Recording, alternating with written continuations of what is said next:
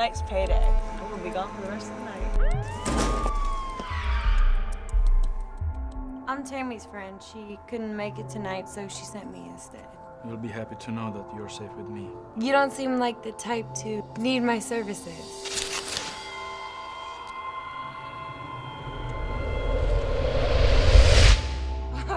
It's not what you think. How much did you take this bitch for? Four grand. What the fuck you thinking, huh?